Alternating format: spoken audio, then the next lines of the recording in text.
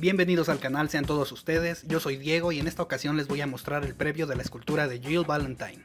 Como pueden ver aquí les muestro el proceso de creación de los bocetos. Primero inicié con el boceto del personaje, del cual estoy haciendo una vista de frente y voy a hacer una vista de perfil.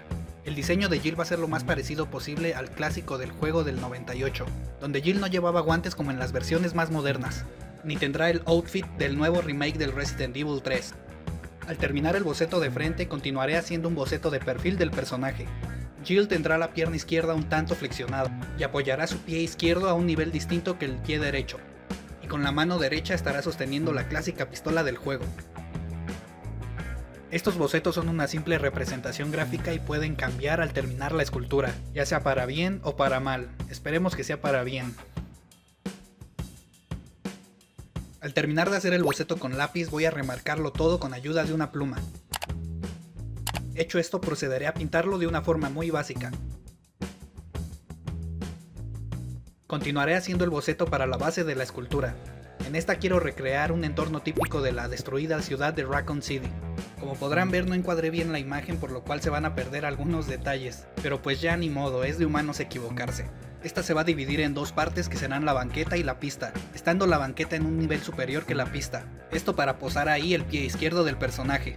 En la parte de enfrente llevará el logo del juego. Como detalles agregaré una coladera y algunos conos de tránsito. Y como toque especial de la base voy a hacer un zombie rastrero, que en este caso decidí que fuera un zombie femenino. Para modelar la escultura voy a utilizar una base de madera para así facilitar el trabajo un poco, y con ayuda de tornillos voy a sujetar la estructura a la base. Y aquí podemos apreciar el progreso de la escultura. Ya está casi terminada pero aún le faltan ciertos detalles importantes. El material que estoy utilizando para hacer esta escultura es porcelana fría hecha en casa. Aquí está lo que sería la base de la pistola. Sobre esta voy a agregar material y a modelar los detalles de la misma y como pueden ver solo se coloca en la mano derecha del personaje. La estoy haciendo por separado por dos razones, para facilitar el modelado tanto de la mano como de la pistola, así como para intercambiar el arma por una escopeta o el lanzagranadas. Como pueden ver en la escultura no está modelada la ropa de Jill, pero esto se debe a una razón muy importante ya que voy a hacer la ropa del personaje con tela de verdad. Decidí hacerla de esta manera ya que creo que le va a dar un toque muy chulo a la escultura. Aunque originalmente tenía la idea de hacer un molde y sacarle una réplica a la figura, para así hacer una con tela de verdad y una con ropa modelada con porcelana fría. Pero debido a la cuarentena y al tiempo no se me facilita conseguir los materiales y hacer todo este proceso. Así que dejaré los moldes y las copias para otra ocasión. Para hacer lo mejor posible con el modelado he estado viendo muchas referencias de anatomía humana. Y como en cada escultura que he hecho voy aprendiendo un poco más. Aún me falta pulir toda la pieza para darle una buena textura.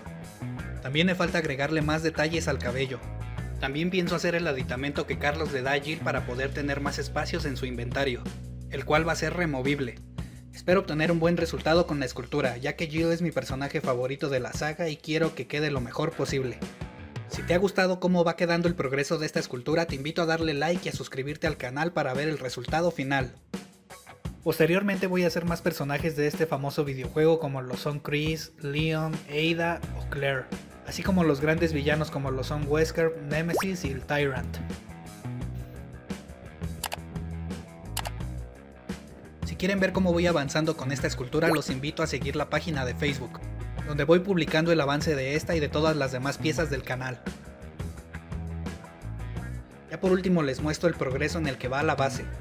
Esta no es la misma base que estoy utilizando para sostener la figura, ya que al final voy a quitar la escultura de la base de madera y con ayuda de encastres la voy a montar sobre esta base.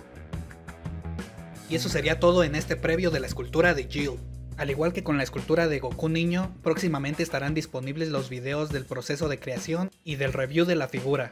Así que cuando estén listos los podrán ver aquí en la pantalla final y en la descripción del video.